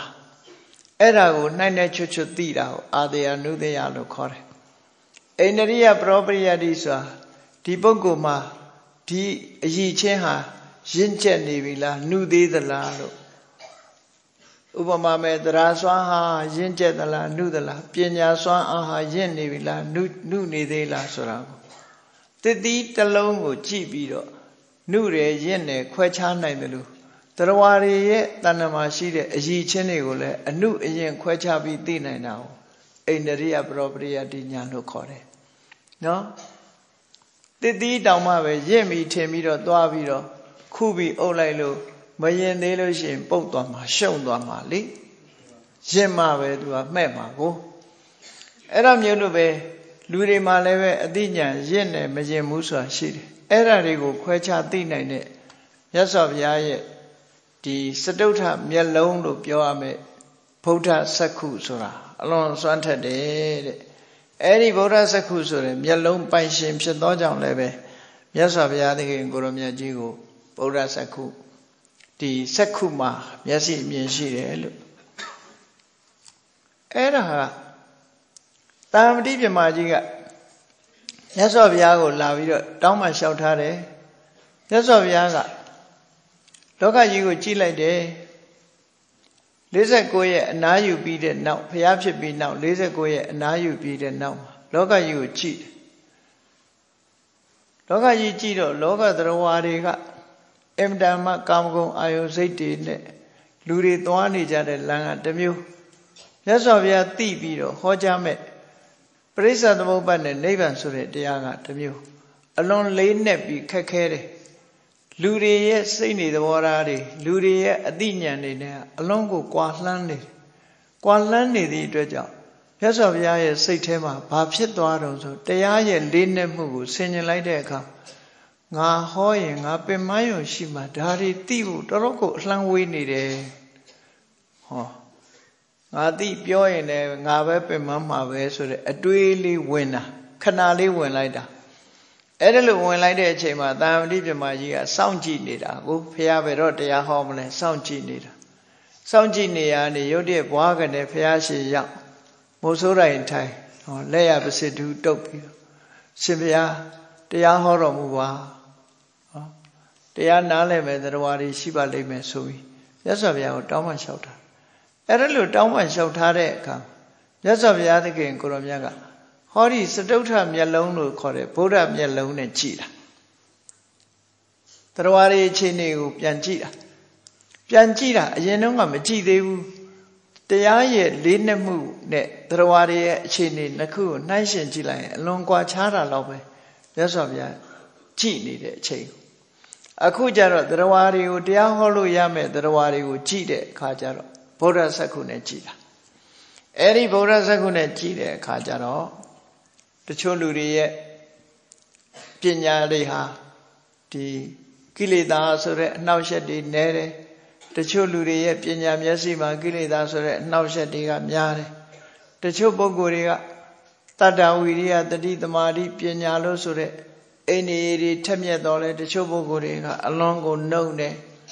အလွန်ကိုနှုတ်နေသေးတယ်နှုညံ့နေသေးတယ်ဟော တချို့ကအခြေအနေကောင်းတယ်တချို့ကအခြေအနေမကောင်းတချို့ကပြောရင်လွယ်လွယ်လေးနဲ့နားလဲတယ်တချို့ကပြောလဲတော်နဲ့နားမလဲနှလဘိန်းတုံးကြီးတွေဖြစ်နေအဲ့ဒါလို့တရားဝါတွေအားလုံးရဲ့အခြေအနေကိုအသေးစိတ်သိတာအဲ့ဒါလို့အသေးစိတ်သိတာဗုဒ္ဓစက္ခုလို့ဆိုတဲ့စတုထမျက်လုံးနဲ့သိခြင်းသာလည်းဖြစ်တယ်ပေါ့စတုထမျက်လုံးနဲ့သိတာအဲ့လိုသိတဲ့အခါမြတ်စွာဘုရားသခင်ကိုရောမြတ်ကိုယ်တိုင်က ပုဂ္ဂိုလ်၄ဆင့်ကြာ၄ဖွင့်ဆိုတယ်ကြာဥပမာညံတော်ထဲမှာပေါ်လာကြာဥပမာဆိုကြာဆိုတာပထမကြာအမျိုးအစားဒုတိယကြာအမျိုးအစားတတိယကြာအမျိုးအစားသရုတ်ထကြာအမျိုးအစားပထမကြာအမျိုးအစားကတော့ရေထဲမှာကြာပွင့်ကြီးကြာပန်းကြီးကြာပင်ကြီးပေါက်လာပြီးတဲ့အခါကျတော့ကြာပွင့်ကြီးဟာရေမျက်နှာပြင်ပေါ်မြင့်တက်ပြီးတော့ ကာကွာဆွင်ဆွင်လှလှပပကြီးပွင့်နေတဲ့ကြာတစ်မျိုးနော်ပွင့်တော့မဲ့ကြာရက်တစ်မျိုးဖူးအဲတချို့ကြာကတော့ရေမျက်နှာပြင်ပေါ်မရောက်သေးဘူးရေမျက်နှာပြင်နဲ့တညီတည်းဖြစ်နေတဲ့ကြာတစ်မျိုးနောက်နှစ်ရက်လောက်မှပွင့်မဲ့ကြာတစ်မျိုးရေထဲမှာမြုပ်နေသေးတဲ့ကြာတစ်မျိုးဘယ်တော့မှမပွင့်တော့ဘူးရေထဲမှာရှိတဲ့ငါးတွေလိတ်တွေကြိုက်တာနဲ့ပဲပျက်စီးသွားမယ်ကြာတစ်မျိုးဆိုပြီးတော့ပုဂ္ဂိုလ်၄ဆင့်ကြာ၄ပွင့် ဥပမာနဲ့မြတ်စွာဘုရားကြည့်လိုက်တဲ့အခါမှာရေမျက်နှာပြင်ကြော်တက်ပြီးတော့လာရောင်တို့နေရောင်တို့တင့်တန်နဲ့ပွင့်တော့မဲ့ကြာလို့ပဲပြောလိုက်ရင်အလွယ်တကူနားလည်သွားမဲ့ပုဂ္ဂိုလ်တရားတွေရှိတယ်ဆိုတာကိုကိုယ်တိုင်သိရှိသွားတာဟာဒီဗုဒ္ဓစက္ခုဆိုတာနဲ့ပဲသိတာပဲဖြစ်တယ်ပေါ့အဲ့ဒီလိုဗုဒ္ဓစက္ခုဆိုတဲ့တတ္တိယစရုထမျက်လုံးနဲ့သိတယ်စရုထမျက်လုံးနဲ့ကြည့်ပြီးတော့ရသော်ဘုရားက သိတဲ့အခါမှာတာမန်ကြည့်တာမဟုတ်ဘူးပုဂ္ဂိုလ်တယောက်ဒီလူကတော့ရာဂစရိုက်ရှိတယ်အလှပတဲ့မမောတယ်ဟိုလူကတော့ဒေါသစရိုက်ရှိတယ်စိတ်တူတတ်တယ်အကုန်သိတယ်နော်စိတ်တူတတ်တယ်ဒေါသစရိုက်ရှိတယ်ဒီလူကတော့နည်းနည်းထုံထုံထိုင်းထိုင်းရှိတယ်မောဟစရိုက်ရှိတယ်ဒါတွေလည်းအကုန်သိတယ်ဒီလူကတော့အတွေးတွေများလွန်အားကြီးတယ်ဝိတက်စရိုက်ရှိတယ်အေးဒီလူကတော့ တရားတရားသိကောင်းတယ်တရားစရိုက်ရှိတယ်ပေါ့ဘာဖြစ်ဖြစ်ထိကနေဆိုယုံလိုက်ပြီဆိုရလူနောက်တစ်ယောက်ကြည့်လိုက်တော့ဒီလူကတော့အလေးအနက်စဉ်းစားတယ်ဘယ်တော့ဖြစ်ဖြစ်ခေါင်းကုတ်နေတယ်ဒီလူကနော်အတော်ရောက်နဲ့မယုံဘူးပေါ့ဟောတရားတွေကိုကြည့်လိုက်တဲ့အခါဇယိုက်ချင်းကမတူမတူသည့်အတွက်ကြောင့်အတွေ့အတာလောဘဇယိုက်အလှပကြိုက်တဲ့လူဆိုလို့ရှိရင်ဘ ယ်တရားမျိုးဘယ်ကမ္မထာမျိုးပေးရမယ်ဆိုတော့မြတ်စွာဘုရားအဲ့ဒါလို့အသေးစိတ်သိအလှပကြိုက်တဲ့ပုဂ္ဂိုလ်အတုဝကမ္မထာပေးရမယ်တဲ့နော်ဒါမှသူ့ယောဂပျောက်အတုဝကမ္မထာဆိုတာမတင့်တယ်တဲ့သဘောကိုပြောတာနော်မသာပြောတာမဟုတ်ဘူးမတင့်တယ်တဲ့သဘောဆိုတာတွေကိုကြည့်နိုင်ရမယ်ဒေါသဆရာရှိတဲ့ပုဂ္ဂိုလ်ကြတော့ထိက္ကနရှိဆိုရင်ဒေါသဖြစ်တယ်အဲ့ဒီပုဂ္ဂိုလ်ကြတော့မေတ္တာဘာဝနာကိုဟောတာ မေတ္တာထားနိုင်အောင်ကြိုးစားမှဒေါသဆရာပြေမယ်မောဟဆရာရှိတဲ့ပုဂ္ဂိုလ်တွေကြတော့စာသင်ခိုင်းတယ်စာသင်ရမယ်နော်တရားနာရမယ်တရားဆွေးနွေးရမယ်ဥဒိတာတဲ့ပရိပု္ပ္ပာတဲ့စာသင်ရမောဟဆရာရှိရင်စာသင်တဲ့မေးတယ်မြန်းတယ်ကာလေနဓမ္မတာကိစ္စကာလေနဓမ္မတဝနံတရားလေးနာကာလေနဓမ္မတာကိစ္စတရားလေးဆွေးနွေး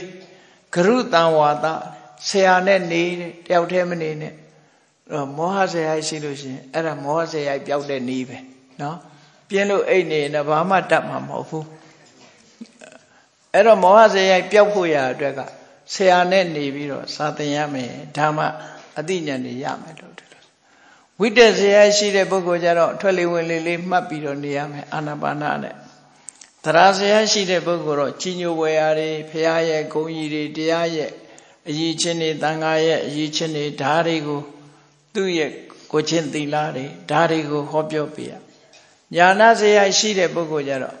အလေးနဲ့ဖြစ်တဲ့ဝိပဿနာတရားတွေဝိပဿနာအာယုန်တွေဓာတ်တွေကိုရှင်းလင်းဟောကြားအဲ့ဒါလို့မြတ်စွာဘုရားသခင်ကိုရောမြတ်စတုထမျက်လုံးလို့ခေါ်တဲ့ဗုဒ္ဓစက္ခုနဲ့ကြည့်ပြီးတော့တရားတွေရဲ့အကြိုက်ဇယိုက်နဲ့ကြိုက်အောင်ဒီကမ္မထာ လုပ်ငန်းတွေအဖြေစည်းတွေကိုပေးတယ်လို့ဒီလိုဆိုတာပေါ့နော်အဲ့ဒါလို့ဖြေစည်းတွေပေးနိုင်မှအကယ်၍အဲ့ဒါလို့မပေးလို့ရှိရင်နော်ရစားလေးတမယ်တဲ့နဲ့ယောဂရှိသည်များလိုက်ကုနေတဲ့လူလိုဖြစ်လိမ့်မယ်ဒါကြောင့်ချောင်းဆိုရဲဆိုလဲရစားပဲနော်နာစီရင်လည်းဒီရက်စားပဲဖြားရင်လည်းရက်စားပဲနောက်ကျော်တက်ရင်လည်းရက်စားပဲ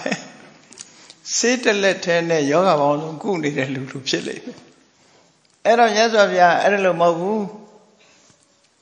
ယောဂပေါင်းဆုံးသူစေးနဲ့သူဒီလိုကုပေးတာအဲ့ဒါလို့ဇယိုက်နဲ့အကြိုက်နဲ့တင့်တော်တဲ့တရားနဲ့ဒီလိုနှိုင်းရှင်ပြီးတော့ဟောကြားတာဟာဘုရားစက္ခုလို့ခေါ်တယ်ပေါ့ဒီနေရာလေးမှာစဉ်းစားကြည့်ရွှေပရိသေတရေသားယဟန်ကလေး ငငယ်ရွယ်နဲ့သာသနာပေါင်းဝင်လာတယ်လူကလည်းချောချောလှလှလေးဝင်လာတယ်ဘသူစီဝင်တော့ဆိုသူ့မိဘတွေကရှင်သာရိပုတ္တရာနဲ့ယင်းနေတော့ရှင်သာရိပုတ္တရာစီရောက်လာရောက်လာတော့ရှင်သာရိပုတ္တရာအာရိုးရိုးတွေးတာပဲလေပညာရှိတဲ့ပုဂ္ဂိုလ်ပဲတွေးတာဘလို့တွေးတော့อืมလူငယ်လူရွယ်တွေကတော့အလှပကြိုက်ဘပရိဆရာသားဆိုတော့ငကလေးလည်းပညင်ပန်ထားအောင်မပြောတတ်ဘူးနော် ခုခေတ်လူငယ်တွေတော့ငကကလေးတွေနဲ့အဲ့တော့ပရိဆရာသားဆိုတော့ငကကလေးလည်းပညင်ပန်မှာဆိုတော့သူကအလှပမမောတဲ့လူဖြစ်လောက်တယ်ဆိုပြီးအတ္တဘကမ္မထံပေးတယ်ဟိုလူကအလှပကြိုက်တဲ့လူမှန်တယ်အတုပကမ္မထံပေးတော့သူကသူ့စရိုက်နေကမကိုက်ဘူးမကိုက်တော့တမာတိကိုဖြစ်အောင်မလုပ်နိုင်ဘူးလေးလသာကြာသွားရောကမ္မထံအာယုံကတခုမှမပေါ်လာ လေးလကြာတရားအထုတ်တာဘာတရားထုတ်မှမရဒါနဲ့ရှင်သာရိပုတ္တရာလဲအင်းလူငယ်လူရွယ်တွေနဲ့ကြိုက်တယ်ကမ္မထံငါပေးတာပဲဒါပေမဲ့လုံးဝတရားမတက်ဘူးဖြစ်နေတယ်အဲ့တော့ဖះစီသွားမှာပဲဆိုဖះစီပို့ပို့တဲ့အခါကျတော့မြတ်စွာဘုရားကြည်တယ်ဇေယိုက်ကိုကြည်တယ်ဇေယိုက်ကြည်တော့ဒီကလေးကဘဝပေါင်း900လောက်ကိုပရိဆရာကြီးဖြစ်ခဲ့တာသူက ပရိဆရာသားအလှပပဲစဉ်းစားနေတဲ့လူလေပရိတို့လက်ကောက်တို့ဘယ်လိုလုပ်ရင်ကောင်းမယ်ဆိုတာအလှပဒီဇိုင်းလှလှလေးတွေနဲ့ဒါဒီပေါ်မှာစိတ်ဝင်စားတာအဲ့တော့အတုပသွားပေးလိုက်တဲ့အခါကျသူသဘောနဲ့မတွေ့ဘူးမတွေ့လို့စိတ်ကြိုက်မရတရားမတက်တော့အဲ့ဒါနဲ့မြတ်စွာဘုရားကသူ့ရဲ့ဘဝအခြေအနေနဲ့ကိုက်ညီတဲ့တရားတစ်ခုပေးမယ်ဆိုပြီးတော့ရှင်သာရိပုတ္တရာကိုပြန်လွှတ်လိုက်ပြီးတော့ အဲ့ဒီပရိသေယသားလက်ထဲကိုလှပတဲ့ကြာပွင့်ကြီးဖန်ဆင်းပြီးတော့ပေးလိုက်တယ်မေတ္တာကြီးယူသွားကြာပန်းလေးကလှလိုက်တာဒီဇိုင်းဆရာတော်မဆွဲနိုင်ဘူးအဲ့ဒီပုံစံမျိုးတကယ်ကြာပန်းအစ်စ်ပုံစံမျိုးမြတ်စွာဘုရားဖန်ဆင်းပေးလိုက်တယ်ဒါလေးကိုမင်းရှိမှတနေရာစိုက်ထားစိုက်ထားပြီးတော့အဲ့ဒီကြာပန်းလေးရဲ့အလှကိုအာယုံပြုတ်ပြီးတော့ကြည်ဆိုဟိုကကြာပန်းမြင်ကြတဲ့ကစိတ်ကပျော်သွားပြီနော် ကြာပန်းလေးမြင်ကြတဲ့စိတ်ကပျော်သွားပြီတိတ်ဆိတ်ငြိမ်သက်တဲ့ကမ္မထာညောင်းရောက်တဲ့အခါကြာပန်းလေးရှင်းကထိုးထိုးပြီးတော့အဲ့ဒီကြာပန်းလေးကိုမြတ်စွာဘုရားမှားလိုက်တဲ့အတိုင်းကြည်တက္ကနာလေးအတွင်တမာရီတွေရပြီးတော့ဇန်နေဖြစ်ကုန်တမာရီစွမ်းတွေတားများလာအဲ့တော့စိတ်တွေကတည်ငြိမ်ပြီးတော့စရုထဇံဆိုတဲ့တမာရီအကောင်းဆုံးအဆင့်ရောက်ပြီဆိုတဲ့အခါမြတ်စွာဘုရားကြည်နေသူဘာလုပ်နေပြီလဲဆိုတာကြည်စိတ်ကတားငြိမ်သွားပြီဆိုတဲ့အချိန်မှာ သူ့ဘာသူရောရှေ့ဆက်နိုင်ရလားလို့ဆိုမဆက်နိုင်တော့ဘူးအဲ့ဒီမှာသူကကြိုက်တွေ့နေပြီနော်အဲ့ဒီမှာမြတ်စွာဘုရားကသူဇံဝင်စားနေတဲ့အချိန်လေးမှာပန်းကြီးကညှိုးပြီးတော့မဲချောက်သွားအောင်ဖန်တီးတာဖန်ဆင်းလိုက်တော့မြတ်စွာဘုရားဖန်ဆင်းထားတဲ့ကြာပန်းကြီးကမဲမဲကြီးနဲ့ဖြစ်ပြီးတော့ညှိုးကြဇံကထားပြီးတော့ကြည့်လိုက်တဲ့အခါခုနကအလွန်လှတဲ့ ဒီကြာပန်းကြီးဟာညှိုးသွားတာလည်းမြင်လိုက်ရောသူ့စိတ်မှာဘလို့ဖြစ်တယ်ခုနကအလွန်လှတဲ့ကြာပန်းအခုကျအကြီးစားပျက်စီးသွားတယ်ဘေးရာမမမြဲပါလားလို့တွေးလိုက်တာနဲ့တပြိုင်နက်မြတ်စွာဘုရားကအေးသင်္ခါရဆိုတာဒီတိုင်းကြီးပဲမင်းမြဲတယ်လို့မထင်လေနဲ့မင်းခန္ဓာကိုယ်လည်းဒီတိုင်းပဲခဏလေးပဲဆိုတာကိုမြတ်စွာဘုရားကအယောင်ကြီးတော့လွတ်ပြီးအတန်လေးပေးလိုက်တာနဲ့တပြိုင်နက်တောက်လျှောက်ယဟနာဖြစ်သွား လေးလာတရားထုတ်တာမရဘူးမြတ်စွာဘုရားကြတော့ကြည့်ရာဂဆရာရှိတဲ့ပုဂ္ဂိုလ်ကိုအတုဝကမ္မထံပေးပြီးတော့ဖြည့်စည်းလှုပ်လိုက်တဲ့အခါချက်ချင်းပဲယဟနာဖြစ်သွားတယ်လေးလာတရားထိုင်လို့တရားမတက်တဲ့ပုဂ္ဂိုလ်ဟာတမနဲ့အတွင်းမှာပဲယဟနာဖြစ်သွားတယ်ဒီလိုဖြစ်တာနော်အဲ့ဒါဟာဘာဘယ်ညာရဲ့အစွမ်းတုံးဆိုရင်စတုထမျက်လုံးဖြစ်တဲ့ဘုရားစက္ခုညာရဲ့အစွမ်းပဲဒီလိုဆို ရှင်သာရိပုတ္တရာတို့လိုယဟနာပုဂ္ဂိုလ်တွေဟာဒီညာမရဘူး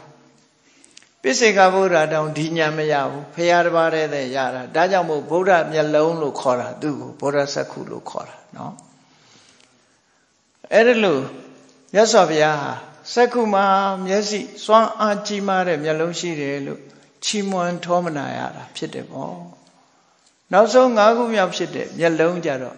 တမန္တစက္ခုလို့ခေါ်တယ် တမန္တဆိုတာပတ်ဝန်းကျင်ဘာမှမကြံရအောင်သိเสียရှိသမျှတွေကျွမ်းကြံမရှိသိတဲ့ပညာမျိုး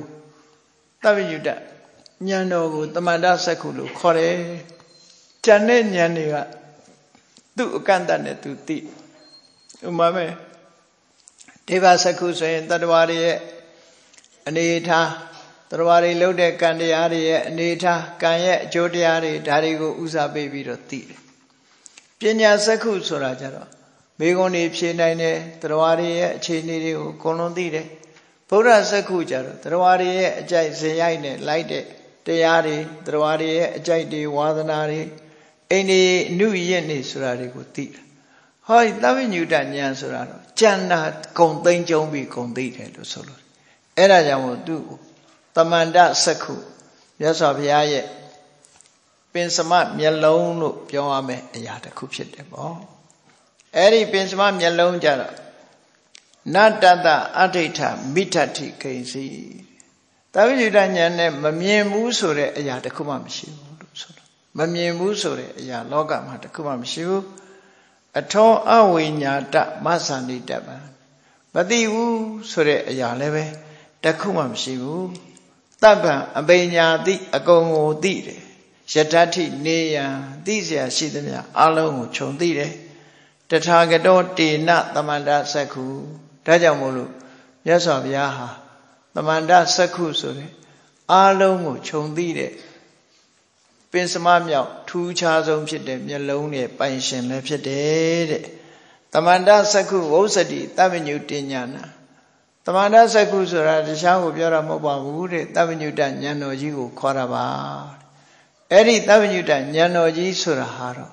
လုံးဝအကျွမ်းကြံမရှိတဲ့ထူးခြားတဲ့မြတ်စွာဘုရားရဲ့စွမ်းအားအကြီးမားဆုံးမျက်လုံးကြီးပဲဖြစ်ပါတယ်အေးဒါကြောင့်မို့မြတ်စွာဘုရားမှာအခုလိုထူးခြားတဲ့စွမ်းအားကြီးမားတဲ့မျက်လုံး၅မျိုးရှိသောကြောင့်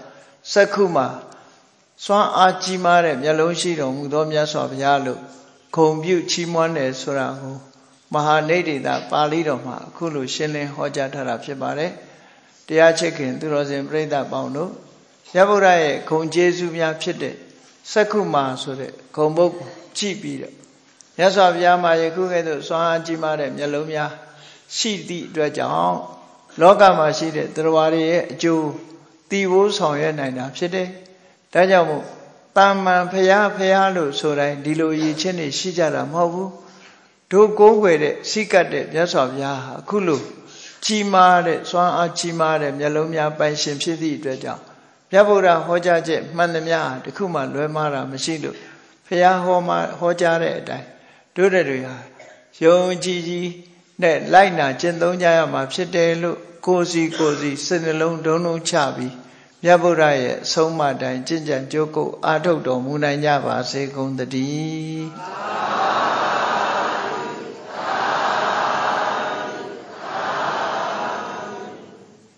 မေတ္တာပို့ရအောင်တတဝါများစွာဖေးရန်กว่าချမ်းသာကြပါစေတတ္တဝါများစွာ ခေယံကွာချမ်းသာကြပါစေမေတ္တာရေချမ်းသုံးငါဖြံငြိမ်းချမ်းကြပါစေမေတ္တာရေချမ်းသုံးငါဖြံငြိမ်းချမ်းကြပါစေ သက်ရှိချမ်းသာစိတ်ချမ်းသာလူရဆန္ဒပြည့်ပါစေသက်ရှိချမ်းသာစိတ်ချမ်းသာလူရဆန္ဒပြည့်ပါစေခောလန္တာဒုက္ခပင်ကစားမေတ္တာပုံနေတုသင်္ကမ မနောတရတိတဗ္ဗေတံဘဝယံတုဒုက္ခနကမေတ္တာပုံနေတုသင်္ကမစုပေါင်းပုအမေတ္တာတဟုရောင်မြူပါဝင်းငွေလာမင်းနှင့်ရောင်ခြင်းရှဲယုံပေါင်းဆောင်ရခြင်းကြောင့်